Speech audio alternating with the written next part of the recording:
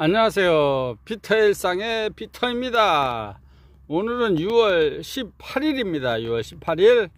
자, 화요일인데요. 자, 제가 어제는 이제, 아, 호박을 촬영했는데, 이제 오늘은 또 이렇게 이제 붉은색을 띠고 있는, 자, 방울토마토를 촬영하고 있습니다. 짜잔, 뭐, 다 아시겠죠? 방울토마토.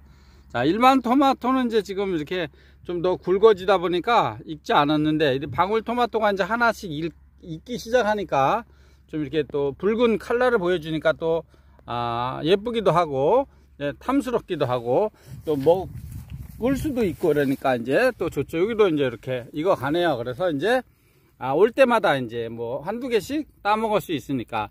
제가 이제 그전에는 이거 많이 심었었어요. 그런데 또 뭐 거름을 안 해서 그런지 뭐 별 맛이 없더라고요. 방울토마토가. 그래서 이제 안 심었다가 올해도 이제 그냥 일반 토마토만 이제 심으려고 했는데 어떻게 이게 방울토마토를 이제 색으로 심었네요.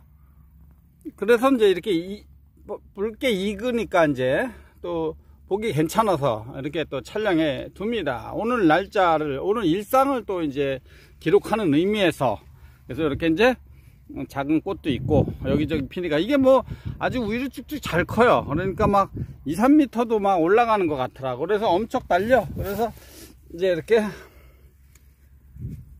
뭐 수확해서 먹는 것도 있지만 이렇게 그냥 보는 재미 아 보는 재미. 또 이렇게 예쁜 거. 또 이렇게 여름을 알고 계절을 알고 또 일상을 알고 뭐 그런 거라고 할까?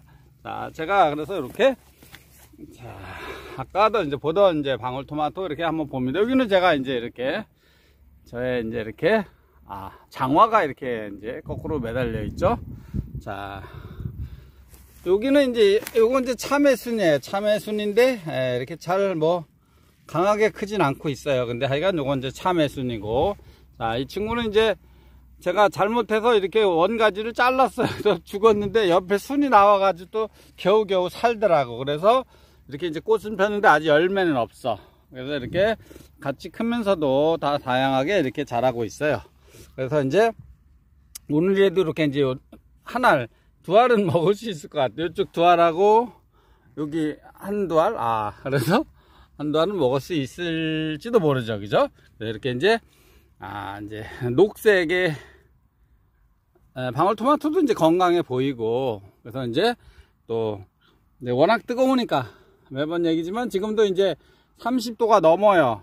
오후 이제 6시 다 돼가는데 30도, 31도 이래. 너무 더우니까 이 친구도 너무 갈증 날 것 같아서 이제 물도 줄 겸 해서 오는 거예요. 풀 뽑는 거 힘들어서 잘 안 하고 이제 물이라도 주려고 이제 나온 겁니다. 그리고 지금 이제 이렇게 보면 자 이렇게 엄청 구워졌어 이제 자 이런 식으로 막 엄청 구워졌죠.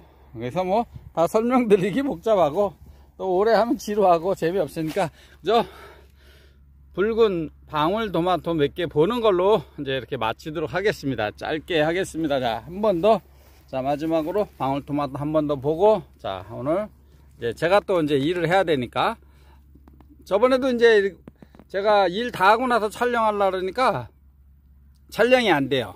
핸드폰이 열받아 가지고 촬영이 안 되더라고. 카메라가 안 돼. 그래서 지금 미리 이제 와서 촬영하고 그 다음에 이제 물 주는 것도 이제 일을 하려고 해요. 그래서 이렇게 아, 방울토마토 지금 이렇게 익어가고 있다는 거 한번 보여드리려고 이렇게 촬영한 겁니다.